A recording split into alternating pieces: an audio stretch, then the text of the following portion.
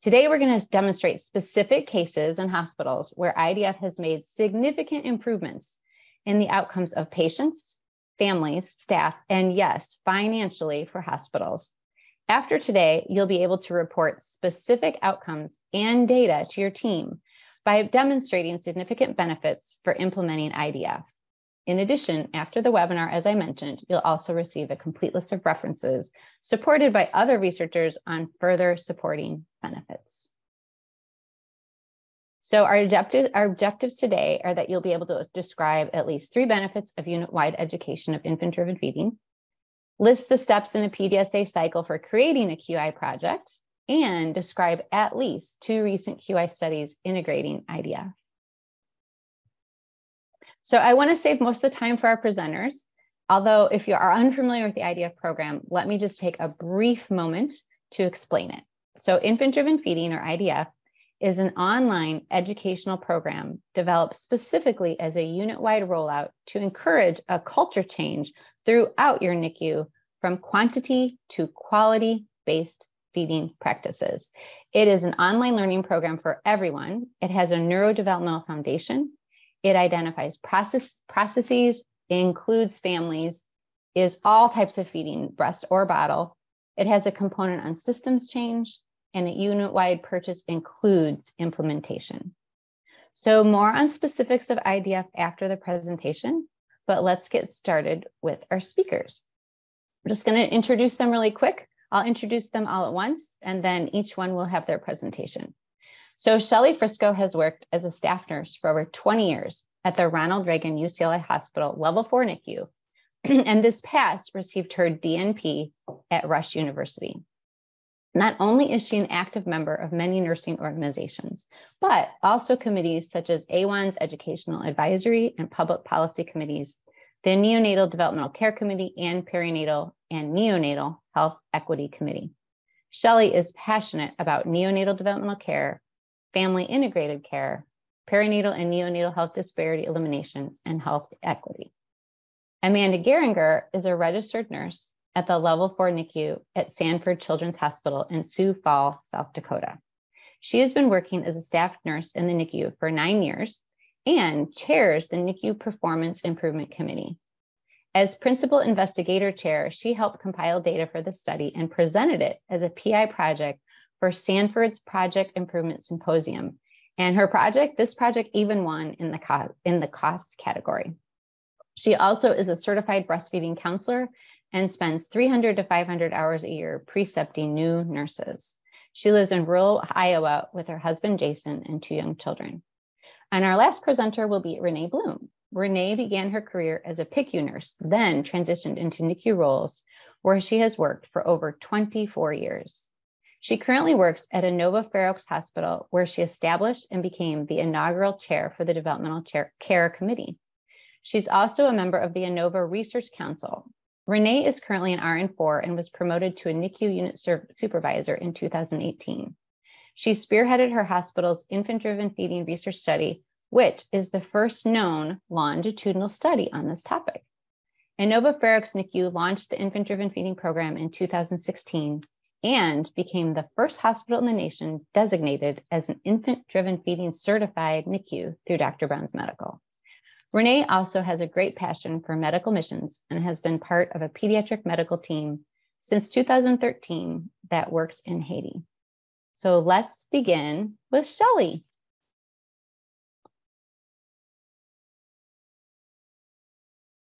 Thank you so much, Lisa, and thank you to Dr. Brown's Medical for this wonderful opportunity to talk about my unit's implementation of the evidence-based infant-driven feeding practice.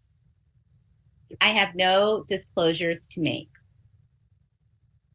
Why did we need infant-driven feeding in our level four NICU? Well, we already know from the literature and from the data that preterm infants have physiological immaturity. And this physiological immaturity often leads them to have feeding difficulties even at term equivalent corrected gestational age. We also know that they are delayed in achieving feeding independency. And this delay in achieving feeding independency often leads to prolonged length of hospital stay. It is also well documented that adverse and stressful feeding experiences can cause negative effects for our preterm infants well beyond hospital discharge. What is the significance of adverse feeding experiences? Well, our level four NICU was on what's considered a volume driven feeding regimen. And we know from the literature that volume driven feedings are associated with increased stress on infants. Volume driven feedings fail to consider preterm infants' physiologic maturity and, and feeding skills. They slow the progression to successful full oral feedings. And unfortunately, the volume driven feeding culture causes increased pressure on bedside caregivers to discharge newborns without a developmentally supportive feeding approach. The significance of adverse feeding experiences for our premature infants in our NICU led to a current practice of initiating volume driven PO feeding PERQs for infants who are 33 weeks postmenstrual age and above. Unfortunately, the problem with this feeding regimen is that it is not individualized specifically for the neurodevelopmental needs of growing premature infants. And we also saw that we had an extended length of stay for our patients within this patient population that was four days above the local benchmark length of stay uh, for our California Perinatal Quality Care Collaborative. The purpose for our unit to implement Dr. Brown's Medical's infant driven feeding program was to improve the experience of our infants learning to feed in our unit by implementing an evidence based feeding practice approach. Our patient objectives for this implementation was, were simple. We wanted to safely transition the unit feeding practice to best evidence. We wanted to support bedside caregivers and the new feeding practice methods. We wanted to decrease our length of stay by at least two days for our patients who were 33 weeks gestational age and older. Our process objectives for implementing IDF were that we provided all of our bedside caregivers with formalized education of evidence-based feeding practice within a six-month time frame prior to implementing infant driven feeding. We also provided parent education on the infant driven feeding practice. And we had a weekly review of nursing documentation for the infant driven feeding assessments. Our short term project objectives were that our pilot infant would demonstrate safe feeding quality and adequate nutritional intake within the project's first two weeks. We also wanted to accomplish parental education on infant oral feeding readiness as evidence based practice documentation in our parent education record. And we wanted to decrease our length of stay by at least two days within one month of our pilot implementation. The long term objectives for this project were that we would decrease our length of stay for infants feeding with the infant driven feeding method by at least four days within three months of implementing the, the new practice. We wanted to see all infants at 33 weeks gestational age and above who met the criteria for infant driven feeding that they would be fed with the IDF model within six months of implementing IDF. We wanted the feeding practice surveys that we distributed to our bedside caregivers to indicate a positive improvement in the feeding culture for infant driven feeding within three months of implementing it. And we wanted to see infant driven feeding practice education included with all of our other annual competencies for all of our bedside caregivers. So, our level four NICU is part of Mattel Children's Hospital in Los Angeles, California. We are a 22 bed level four NICU with an on site ECMO program, congenital cardiac program, and a head body cooling program. We are magnet certified. We are also designated breastfeeding baby friendly. And we are a major referral center for high risk mothers and newborns. We have an interdisciplinary team that includes 13 primary rotating neonatologists, approximately 108 registered nurses, 10 neonatal nurse practitioners, rotating neonatal fellows and residents, two lactation consultants, two, three occupational therapists, three physical therapists, two discharge coordinators, two social workers, a registered dietitian, and our unit nursing director and two assistant directors. The framework that we used to guide implementing the infant driven feeding model was the Plan, Do, Study, Act model, which is shorthand for testing, planning, or testing a change or observation. And we began with one neonate, including the plan for collecting data. We tried uh, the IDF implementation out on a small scale with just this one patient for two weeks. And we set aside time to analyze the data and results from implementing infant driven feeding with this one patient. And then we refined the practice change based on what we learned from the initial pilot. the pilot infant driven feeding project was conducted in our level four NICU with the following methods. We had initial staff education in the evidence based feeding practice, and we gave all of our staff six months to complete this online education. We created an interprofessional team. We designated infant driven feeding champions comprised of bedside nurses on both our day and our night shifts that assisted with educating our staff at the bedside of the new feeding practice. We created the electronic health record documentation with the infant driven feeding skills. We had the actual intervention of implementing the infant driven feeding practice. And then our pilot, our infant driven feeding champions assisted us with re educating our staff throughout the duration of the project to promote sustainability of the new feeding practice. And we also created specific parent family education. The background um, on the infant driven feeding program is that it is a evidence-based feeding practice that provides guidelines for feeding medically stable preterm infants. It is a semi-on-demand feeding protocol that is driven by the infant's behavior, assessed by the caregiver, and it's ordered by the advanced provider. The actual implementation of IDF in our unit, as stated earlier, began with one infant uh, who was our pilot patient, and we monitored this patient for the first two weeks, monitoring this infant's oral feeding intake daily, his daily weight gain, and his feeding quality scores. And then we conducted weekly chart audits on every patient who was on the IDF method over a three month period that assessed weekly patients for their weight gain, their IDF assessment scores, their time to achieve PO ad lib feedings, and their length of stay. No protected health information was collected for this quality improvement project. We began with an, uh, a budget for the project uh, for all of the materials, all of the resources necessary for the mandatory staff education and the costs associated with that and uploading that as well as all of the bedside reference infant driven feeding resources that were provided by Dr. Brown's Medical that we made available for all of our staff. So, our results uh, from implementing infant driven feeding were that our pilot infants demonstrated sufficient daily weight gain while on infant driven feeding. The average time for our pilot infants to achieve PO ad lib feedings um, was about 15 days, really not significantly above uh, what we found in the literature for preterm infants who are learning to orally feed. We did a six month pre implementation baseline to get an average of the percentage of our patients that were on human milk in our unit.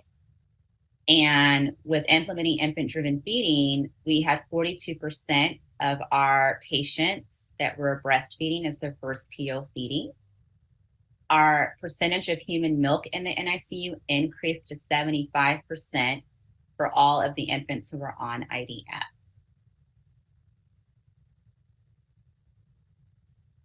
And then in terms of our length of stay, we saw uh, our pre IDF baseline uh, for our infants who were 33 weeks and above, a stay of about 26 days, which was four days above the local benchmark for California Perinatal Quality Care Collaborative.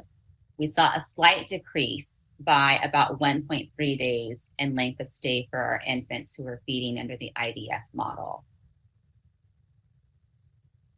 So, in analyzing our results after implementing infant driven feeding, we saw that our pilot infants demonstrated adequate weight gain on IDF. Our use of human milk in the NICU increased 23% above our six month pre implementation baseline with infant driven feeding. We didn't see a real significant decrease in the time to achieve full oral feedings. However, we did see our length of stay decrease by about 1.3 days for our target population for our infants who are 33 weeks and older. And then our oral feeding practice surveys that we gave to all of our nursing, OT, and lactation staff indicated a positive improvement in our unit for infant driven feeding. The infant driven feeding implementation in our unit increased our lactation support for our NICU mothers, increased the use of human milk for all of our patients. We saw staff education successfully implemented of evidence based feeding practice we also saw successful interprofessional collaboration within the unit to implement infant driven feeding.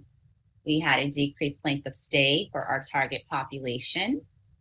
Our unit feeding culture successfully transitioned to the infant driven feeding practice. We also successfully incorporated IDF into our unit feeding policy and guidelines.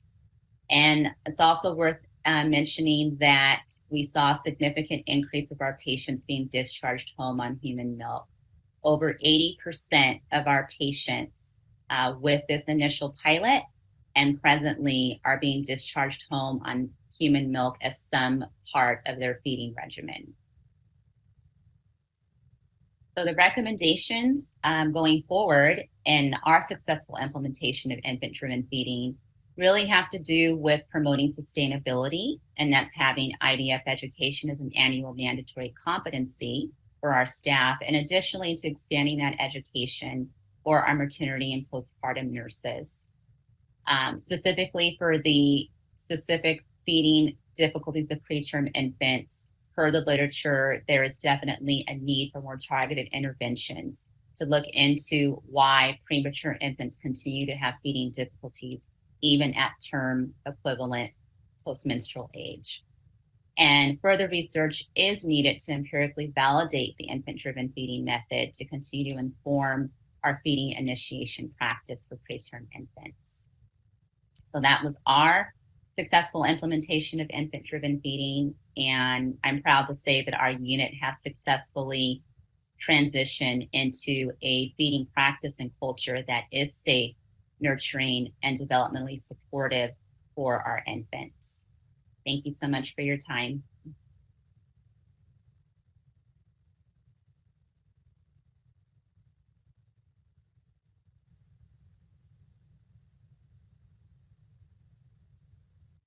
Thanks, Shelly. We appreciate your dedication to this project and your commitment to IDF. Next up is Amanda Geringer, who's going to speak about a benefit that has not received a lot of attention in projects, reduced costs of supplies. Hello, my name is Amanda Geringer, and I am a NICU staff nurse at Sanford Children's Hospital in Sioux Falls, South Dakota. And I am here to present uh, impact of infant-driven feeding on the cost of feeding supplies. I've been an RN in the NICU for about nine years. I have no conflicts of interest to disclose. Our level four NICU is located in Sioux Falls, South Dakota on the campus of Sanford USD Medical Center. We are a 58 bed unit with an average daily census of 40 patients. The infant driven feeding program was a purchase program uh, that included staff education and tools. It is a comprehensive neurodevelopmental approach to feeding that can produce a feeding culture change. It is if it is implemented appropriately. The IDF me method improves feeding efficiency by carefully monitoring and effectively intervening when stress cues are displayed.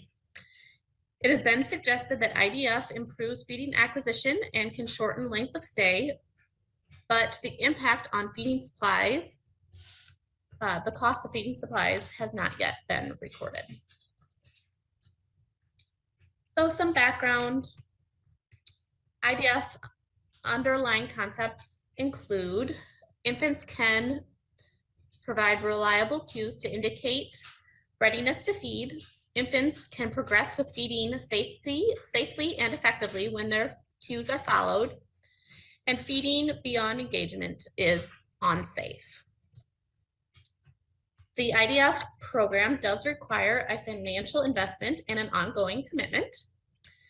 We had a executive director in our organization request a study to determine the cost savings on feeding supplies after we had implemented the program to see if the cost of implementing the program offset the costs of feeding supplies. So our hypothesis was infants fed using the infant-driven feeding model will have lower feeding supply costs than infants fed with the, a provider-driven feeding order. The goal was to document savings on feeding supplies. And we had two cohort, two cohorts, and the, we did a retrospective study. So our two co cohorts were uh, the provider-driven feeding or the infant-driven feeding, and we did two retrospective eight-month studies. Um, the provider driven feeding study was February, September of 2017, and the infant driven feeding was February to September of 2018. The feeding supplies were NGs and feeding extension tubings and syringes. So the data sources were our supply chain report that gave us the cost of the feeding supplies, and we were able to determine the length of stay and the gestational age of each patient from our patient census dashboard, but we did not directly access the individual medical records for specific patient information. So if you look at our two cohorts here, the provider-driven feeding infants were a little bit older actually, so 36 and 0.6 for gestational age, where the infant driven feeding were 36.5. The provider driven feeding average monthly cost for feeding supplies was 4,600 and the infant driven feeding was 3,600. So the total savings for infant driven feeding for uh, feeding supplies was about $980 so the total in that eight month period of the study was $7,845. And we also determined that the length of stay was shorter for the infant driven feeding infants by about a day, which that cost really adds up quickly as well. So there were 1,858 fewer patient days and it impacted the unit census by six patients per day. And this is a huge impact for budget, nurse satisfaction, and for staffing purposes. The implementation of IDF requires a culture shift, um, medical record alignment, physician champions to ensure the success of IDF. And uh, you need an ongoing investment for continuing education and training. So to conclude, IDF has reduced the cost of feeding supplies in our unit. The cost savings did offset the expense of the training. And infants in the infant-driven feeding cohort had a shorter length of stay, which has a clinical significance. Limitations include that this was just one small focus study in one unit and um, we had only one indicator of severity of illness, which was gestational age.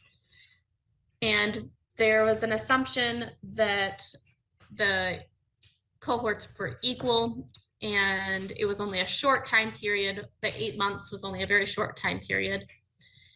And we did not validate any of the information with the medical record data because of the request by our executive director.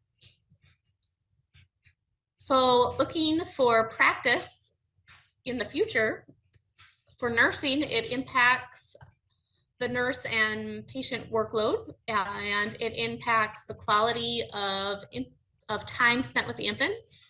It should decrease readmission rates for late feeding failures and should help increase breastfeeding rates and decrease surgical G-tube placement.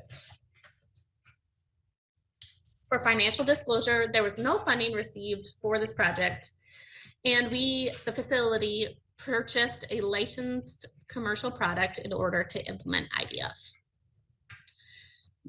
These are my contributors for my clinical nurse specialist, my developmental specialist, and my manager in my unit.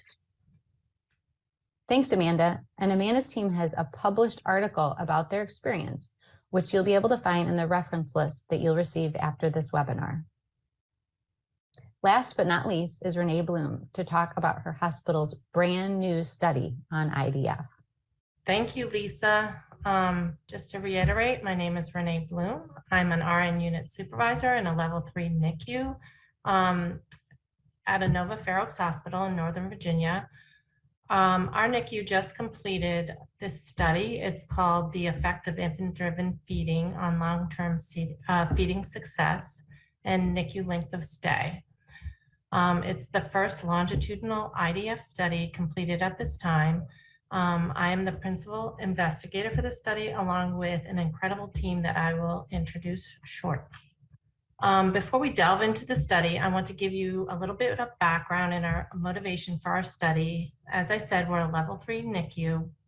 We admit uh, infants between 28 weeks gestation and above so many years we have dedicated our attention to more critical issues such as NEC, sepsis, IVH, um, etc. Um, but as technology and care practices improved our survival rates for our babies, we now can focus on ensuring our infants meet their potential outcomes beyond the walls of the NICU by maximizing the positive impact of our care and minimizing the negative. The De Developmental Care Committee at Inova Fair Oaks Hospital searched for a more developmentally appropriate and consistent feeding practice, which actually led us to IDF after being introduced to this model at a Gravens conference around 2013. Our initial motivation to change our feeding practice was definitely to be consistent in our feeding of preterm infants. When we learned that we were causing feeding issues after discharge due to our methods of feeding well, that just solidified the need for us to change. It was eye opening to understand that when the suck reflex disappeared around three months of age, that the infant could choose not to eat because of the negative wiring in the brain from unpleasant feeding experiences that had occurred in the NICU. As we gained insight into feeding abilities such as the suck, swallow, breathe pattern and actual cues from the infants, we decided that IDF the IDF model was a perfect fit for our NICU population. When you know better, you do better. Um, these are some of the feeding problems that parents endured after discharge that were identified from traditional practice of feeding that motivated our NICU care team to, persi to persist in changing our culture. We had no idea that this was happening. These were in um, um, like it, uh, clinics after that our the parents would bring their baby back into um, that were showing that they were having true issues with um, getting their child to eat from um, avoidance behavior, vomiting, long-term, long duration of meal times. They had low appetites. So once again, it just was, we didn't want to cause these things for our babies and we had no idea that this was happening. So the motivation for us was very, very, very high. We took one year to fully educate our team prior to launching IDF. Um, we launched it January of 2016. We um, took the year to do the actual education for all our, our staff. We made a complete culture change in 2016 that included nurses, lactation consultants, OP, TT, PT, speech, Clintex, neonatologists, and dietitians. Our parents obviously became part of our team as we move forward. I just want to share a quote from one of our mothers of an ex 28 weeker at her two, two her she sent this to me at her two year her daughter's two year birthday. She said, I absolutely credit IDF with her success. I don't think she would have done nearly as well without. Honestly, it's hard to even think of what might have been our reality. She was a big, big um, proponent of IDF and um, really gave us a lot of extra clues into what we could do, especially with breastfeeding. After we implemented IDF and became aware of how much we improved our feeding practice, we decided to document this, hence the study.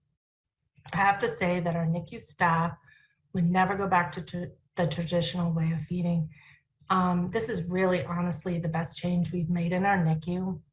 I want to encourage other NICUs to implement IDF. Many of our nurses have floated to some of the other hospitals in our area that do not do IDF. Um, and it's been, you know, the feedback coming back when they come back to our unit is it's so extremely hard to go back to a traditional way of feeding. There's so many issues with babies crying that should be cue based. They're older. They, you know, don't need to be on a Q three hour feed and not being able to move forward with, um, you know, actually taking cues from the baby was very uh, disturbing to them. So, and then actually seeing people, you know, quote unquote, kind of force feed these babies. So it's just been a really good thing for us. Um, let me introduce you to our research team. This is an inter interdisciplinary research team that included physicians, nurses, OT, therapists, um, clinical nurse educators, statistician, and nursing research uh, scientists. They have been invaluable in making this research study come to fruition.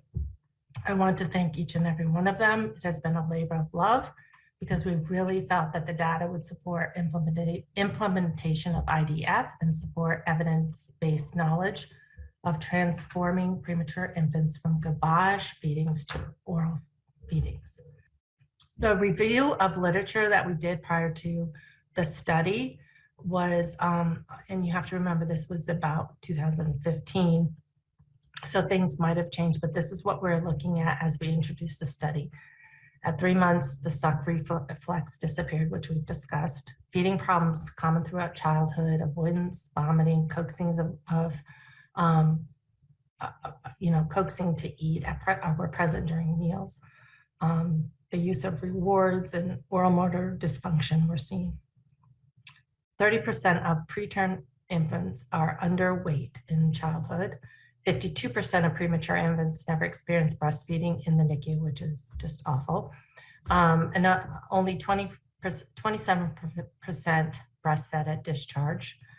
There is a sharp decline in the rate of breastfeeding in the fir first few months of life after discharge. Um, skin to skin, we know improves breastfeeding rates and knowing Susan Ludwig's, uh, you know, that she created IDF at the time was out there in our literature. The aim of our study was to compare um, different feeding practices at two Inova institutions. There's actually five, but only four with um, um, NICUs. So we had traditional so they had not implemented IDF yet, and then Inova Fair Oaks Hospital, which did.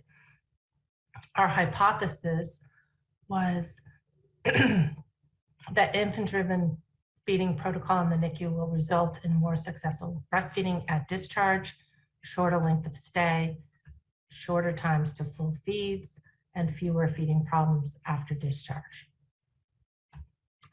Our measurements were, we had short-term and long-term goals. Our short term were that the rate of breastfeeding at discharge would be improved with IDF. The gestational age at which full oral feeds were achieved would be better with IDF, and length of stay would be improved with IDF. Our long term were um, that they would have less feeding problems, and our breastfeeding success rates at three and six and 12 months would be also improved. Our study design was non-randomized prospective study, longitudinal. our setting was, we had Inova Fair Oaks Hospital and Inova Children's Hospital.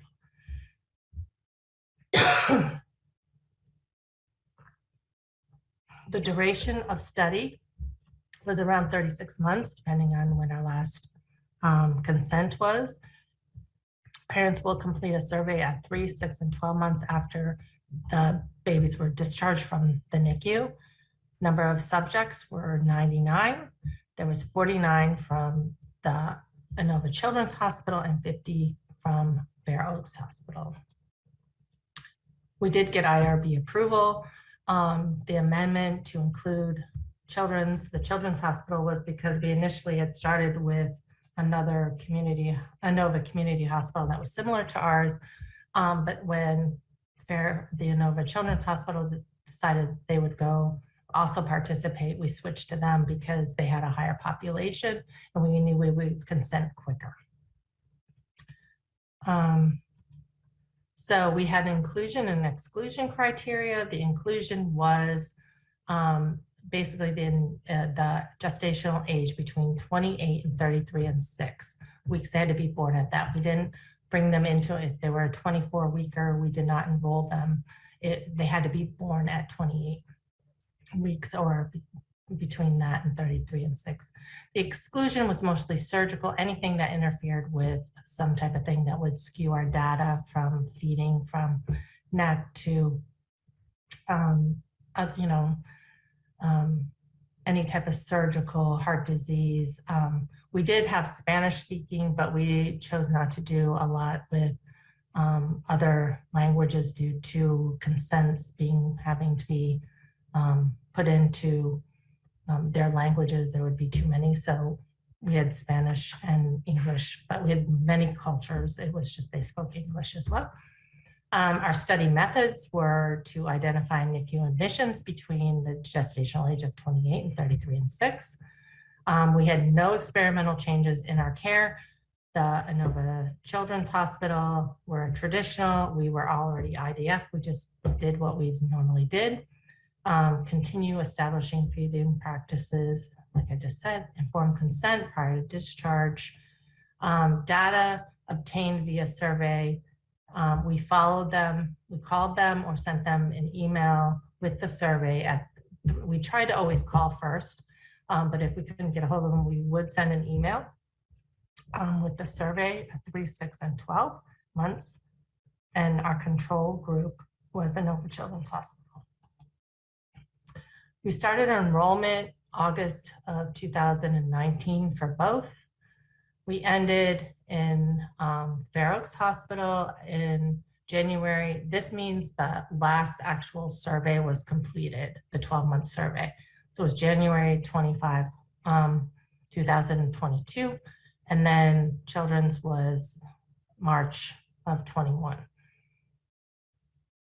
Um, the exciting thing is that we actually do have data that is being analyzed right at the moment but it is not finalized. So unfortunately, I can't give you the actual um, um, statistician results, um, but they, we're getting very close. Well, we are going to pursue publishing and it will be um, great for everyone to see what the results are.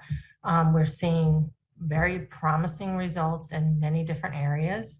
Um, breastfeeding results are amazing.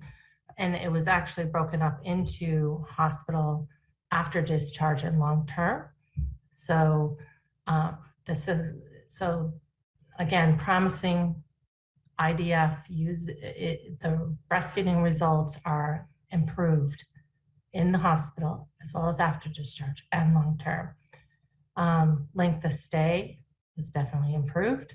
Using IDF days to full feeds, again, improved using IDF. Earlier gestational age to full feeds, improved using IDF. And feeding problems were better with IDF, like we had less feeding problems in the hospital that used IDF versus the one that did not. So we're very excited. We can't wait to be able to share exactly everything we found out, but I honestly don't even have the actual results and but they are coming soon. This was just our preliminary. Um, these are the references that are used. Uh, I know they're on the older side, but it was done at the origination of the study project in 2015. Um, we hope to add, we hope to be added someday to the reference list as we publish our research data, which would be very cool. Thank you so much. I hope that this was exciting for you as it has been for us. We are proud that we have accomplished this cultural change in our NICU. We want to support any positive impact in order to provide our vulnerable population with the best outcomes. Thank you. Thank you, everyone. Thank Shelly, Amanda, and Renee for your efforts and also for providing this powerful information. Before we get into some benefits, um, I'm going to speak for just a couple minutes before Q&A. Um, but I did take some notes because I wanted to highlight just a few things besides all the wonderful benefits about infant driven feeding, but just things that really, really just struck me and I just can't, you know, be more excited about is baby friendly hospitals can do infant driven feeding and Shelly's um, team is um, a testimony to that. Um, sometimes we get comments that it's IDF is too expensive to do for your whole unit, but as Amanda pointed out, the benefits completely outweigh um, and cover the cost. So uh, you will save more than you will spend um, and save beyond that, as we've seen in other studies and um, just the length of stay and cost of supplies. Um, and then also from Renee, uh, in addition to this amazing research that's coming, not just with in the hospital, but afterwards, and that babies are going to have better feeding experiences in the long run. But the parent quote just sticks in my head completely, right? Um, that it's great for babies, it's great for staff, but it is parents love this and that they can't imagine feeding their babies any other way. Um, and then, of course, how Renee said too that her staff, the nurses say they just would never go back.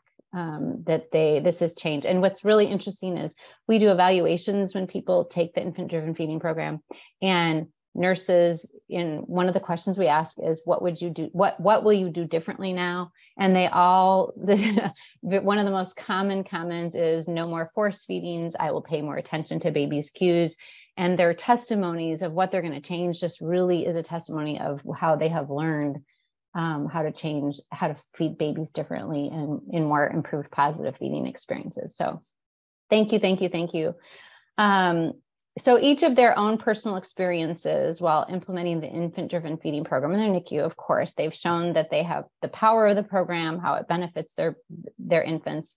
Um, other facilities have shown benefits through projects and studies to validate the program as well. So some of the benefits that we've seen, again, are reduced length of stay, decreased time to full oral feedings, increased breastfeeding rates, improved parent and staff satisfaction, reduced costs, increased skin to skin time, and a greater nursing understanding of feeding cues and responses. And even if some of these weren't mentioned today, um, either through other QI projects or published studies, um, these, these uh, um, results have been documented and that resource list I'm going to send you in a couple of days will provide that information as well. So I wanted to just, before we go into QA, just talk real quickly about this study that just came out about infant-driven feeding in the literature. I think it was in Advances in Neonatal Care, um, just this, this past month. So uh, this study evaluated a change in NICU nurses' knowledge, perceptions, and feeding practices and culture following education and implementation of the IDF protocol. So this was a 36 bed level three NICU they initially surveyed 120 nurses. Their final number was 39 because they did this pre survey, post survey, and they had to get all the people to do the pre, all the people to do the post. But then the num- final number is people who ended up doing both. So they did end up with 39. Um, and the survey that they used was the oral feeding survey and included questions uh, concerning oral feeding preparation strategies. And it required the responders to identify the frequency, with which they use specific criteria to begin oral feeding attempts and then also to decrease oral feeding attempts. So their education portion was a 30 minute PowerPoint um, during mandatory education sessions, but then all staff completed the infant driven feeding online program. And in addition, they really spoke to other strategies that they use to support practice change, such as peer support, mentors, audit strategies. So their results, the post-implementation survey responses were significant for these. Fewer, and I'm going to talk to a couple of them because a couple of them are like, you're like, what? This doesn't really seem right. But fewer nurses making decisions to begin oral feedings, um, increased use of gestational age to increase frequency of oral feeding attempts, less reliance on weight loss to decrease feeding attempts, increase in combination interventions to prepare infants for oral feeding, and a greater willingness to allow for a rest period. Again, that one speaks to, to when I said that nurses in our survey say they no longer force babies, they stop feeding, you know, um, at a better, appropriate more time. Um, so this comment about fewer nurses making decisions to begin uh, oral oral feedings, they hypothesize that that I know that seems a little strange, but they say that could have been due to the fact that between the pre-survey and the post-survey, the feeding specialist and dietitian were newly involved in the decision-making process. So it was more of a team approach. So it wasn't just nurses making decisions. And they wrote in the in this article that there was some ambiguity in how that question was worded. So they said they weren't specifically identified in, as separate choices. So, and then in regards to the gestational age between pre and post, the authors noted that in survey one and survey two, the unit actually instituted a minimum gestational age for oral feedings um, to go along with infant driven feeding so that they weren't feeding babies um, offering bottles at 30 weeks. So the study concludes that the, um, these differences indicate that it's a, a greater understanding of infant feeding cues and appropriate responses to them. And also that their findings reflect a change in the feeding culture and practice that is consistent with other evidence-based oral feedings. And this nerving behavior study is, is, is significant in that it demonstrates that IDF really does create practice change in the NICU. So this leads us to probably the most important factor, of course, reduced costs, uh, length of stay. These are amazing benefits, but remember, it's really about the infants in our care.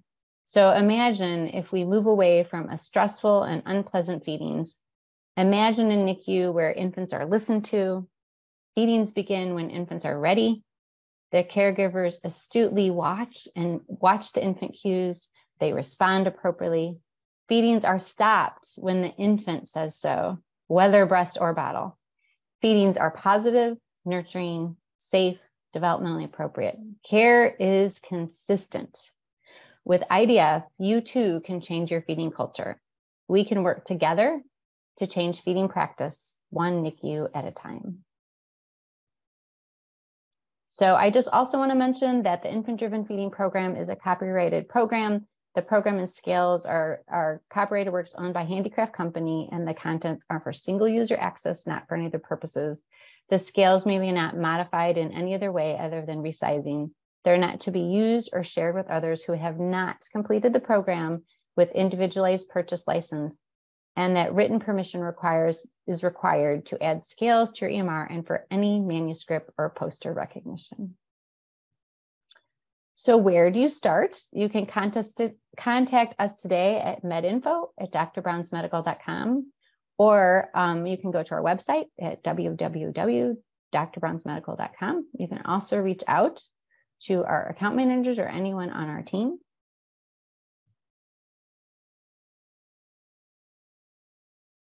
And now I just want to take some time for some questions.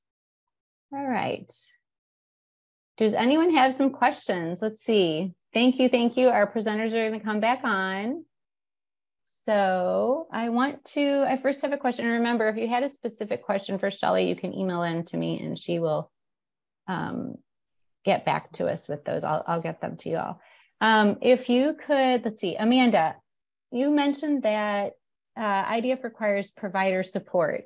Do you have any tips on how to get that provider support from your staff? I feel like that if you present the evidence um, and you kind of show your um, medical team, like everywhere else is having such great uh, benefits from this, and that really helps because most medical professionals are very um, ha- have had a lot of research and evidence base kind of drilled into them. So I think that if you don't just say like we want to try this, if you kind of present some of the background information, that usually really helps. All right, Amanda or Renee, do you have anything else to add about that? How did you your unit um, work with that with provider support? Well, you know, bringing back, um, well, number one, our unit had an interest in changing how we fed babies anyway. We were looking at cue-based feedings and we needed kind of a pathway. So um, when we presented the actual, the 2007 article that Susan Ludwig and um, Karen um, uh, wrote, uh, seemed like it was a great pathway towards changing our culture. Um, but then it was like seriously one step at a time. I had to get the NEO's, you know, input into it. Then I had to get my director's input into it and um, and backup for it. And we just kept pursuing that this is, and we were a group, we're a developmental care committee. And the committee really wanted this change and we were willing to do the work behind it. Um, so we just kept pursuing how it would be uh, um, important for our unit. And um, we got foundation money to buy the licenses. You know, we just kept going until um, we got what we wanted. Yeah. I know that just from talking to other people too, um, you know, the more research you can provide. So now we're here to help you. And the re- research, as you can see, as everyone here can see, it just keeps piling up. So um, thankfully, people are are finding that we have great results with IDF. Um, the other thing is, Dr. Brown's Medical does have a provider support um, webinar. It's uh, it's about a 45 minute video you can access through our website you know, I mean, ideally we want them to take the whole program, but um, in the beginning, even to get them maybe on board, they can do the Dr. Brown's um, provider support video. Um, and I don't know if any of you shared that with your team in the beginning, but um, that can be a huge success too. Calling other NEOs, um, you know, we do have some neonatologists who have said, yes, you can give my information to other neonatologists looking at infant driven feeding. So um, we have provided, we have been given permission to, for a few of those, but I, I, mean, and then that's a great way also to talk neo to neo, right? Um, so I think that that can be very helpful or provider to provider. So thank you. Um, what about biggest challenge? Everybody wants to know the biggest challenge always. And whoever wants to speak, if you, you know, so our biggest challenge was really um, the breastfeeding component was once we kind of followed, you know, the scales and that kind of stuff and got our order sets kind of down where everyone could follow and, um, the order sets that matched all the scales, right? It was the breastfeeding was definitely the hardest thing. And it took us a really, probably a good year to really fine tune our supplementation and understanding um, you know even though we had the guidelines to supplement you had to really hone in on were they transferring milk when they sucked if they were weak or if mom produced enough milk or you know there was a lot of components to it and i know now that you have the breastfeeding module that's out correct yep. yeah which i think yep. is going to be a big help for people starting yeah, it is. And, and, you know, I will say that just in reading, you know, uh, so for those of you that don't know, we did add a chapter eight breastfeeding um, success to our infant driven feeding program. And I, IDF has always been, you know, inclusive and very supportive of breastfeeding. Obviously, these hospitals did the did the infant driven feeding program before we introduced it, but um, we wanted to provide even more support. And that was the number one question we would get in our vows is more on breastfeeding, more on breastfeeding, because it is, you're right, Renee. It's like one of the hardest things um, in the NICU. So our early evaluations already are is that this is extremely helpful. And we would love for even, you know, to see now, uh, you know, take the, you know, here's another topic for you, Renee, take, have your nurses do that section and see if your rates go up even more. So um, do a QI study on that. But yes, breastfeeding is a huge challenge. Um, Amanda, what do you think your biggest challenge was? I think the culture shift of, um, you know, especially some of the older nurses that were, you know, I can feed a rock kind of um, attitude. and just it really took some time um, and um, our speech therapy team was really uh, a big part of being like reiterating the information at our um, quarterly meetings and being like, you know, we need to be safe, we need to follow the cues. Um, and then going through the actual train, I think really helped with that as well, too, because it's not just about volume, it's about or not about quality quantity of the feeding it's about the quality of the feeding more than anything so i think that was probably our biggest yeah. um, challenge was that culture shift for the nurses to be like, oh yes, it is about quality. It's not about, you know, getting them to take the full bottle. Yeah. Um, well, that's funny because that was the question. One of the questions that's coming in is what about the tenured nurse who's always done it this way, doesn't want to change? Um, I think too, I mean, Renee, you kind of touched on it uh, when when when when I was at one of my mm-hmm. hospitals, what I required of our, I mean, not required, that sounds really strong, but what, what we really wanted our nurses to do was to have a rotation in developmental follow-up clinic because they don't get to see that, right? So they don't see what these babies look like um, three months out, six months out. And you touched on that is that once you actually saw that, you were like, oh my gosh, what can we change about our feeding? Because we got to do something, right? And so i think that that is could be a nice component to add is you know when you're training your nurses or when you're having a skills day or something can you have some type of information from developmental follow clinic or something that um, there used to be a video from feeding matters that we would show um, in some of our skills days too. But um, it's that older nurse but i will tell you too I t- like to talk about our evals, but uh, you know, a large portion of the people who take IDF are nurses with 15 to 20 years of experience. They rate it really nicely. They still mm-hmm. learn things and they say, oh my gosh, you know, I'm going to change the way I feed babies even after 50 to 20 years. So it's not true that you can't teach an old dog new tricks. You can. So, um, uh, somebody said, how long is the updated IDF module? The breastfeeding um, a chapter is about 20 minutes, um, 20 minutes long. So it's not um, super long. Um, let's see what else. Uh, oh, um, Amanda, you spoke that um, how, how, I'm reading this because it relates to something in your PowerPoint, but how do you handle staffing? So you mentioned that one of the benefits is it's improved staffing, but yet the question, this question, and we also get this question a lot, is um, if we're paying attention to cues and we're really not doing, you know, very strict schedules, but we're moving towards an infant driven feeding, how people will say that's much, much harder to staff. So what do you do in the days where we're all short nurses and um, schedules are hard and we're, you know, nurses are kind of struggling with that um, during these times. So what do you think about staffing? I actually think you spend less time uh, with the like hmm, how to how to phrase um i think the time that you're spending with your babies with the idf is more uh, is better quality versus um you're sitting and trying to bottle this baby for 25 minutes and they're just asleep. Uh so i think it's not um i don't think it really changes too much uh on the time this difference but I think it's really important in educating the family and how important it is for them to be there with, with their babies as much as they can. Um, well, we have like our speech therapist for like our late preterm babies. She'll actually come and do an IDF presentation about cues and um, pacing and everything with the baby, with the with the parent before they actually start feeding. So that's actually really helpful. And ultimately, you know, it doesn't really matter how the baby feeds for us because we're not going to be the ones taking them home.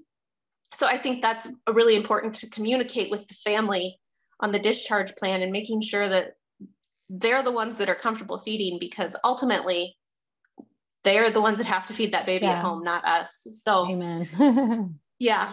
Yeah. Anything else you want to add, Renee? Well, I think for us, the um, time consuming part is definitely at the beginning as you're educating the family um, about IDF and, um, you know, doing partial bottle and then having to still put up a feeding. And it is time consuming, I think, at the beginning. Um, but I think the reward is towards the end when the parent is really self-sufficient. They know how to pace a baby, they know how to side feed. You know, the whole then they're doing the complete feed themselves without you. So on the end of it, on the other end of it, you're getting your time, you know, back. And it's so it's just really putting the time up front with Mhm. education and with Yeah. the families. So Yeah, and I also want to add, you know, even it's it's kind of the same concept with developmental care when we started talking more about responding to the baby's cues and taking more time to do your nursing assessments. But if you spend more time and and for example, take longer and let the baby, you know, have some time, you might take more time doing that one specific care, but in the long run, it's going to take less time because you're not going to have a stressed baby who's who's desatting and having heart rate drops, and you're not going to have to keep going back and forth and back and forth. And that's true about feeding too. So, mhm. um, this last question, because we are running out of time, is a super quick answer. Somebody said breastfeeding is a big hurdle. Does the program recommend pre and post weights or use a timing at breastfed breast method to determine supplementation amounts? amounts? Um, IDF does have a breastfeeding algorithm.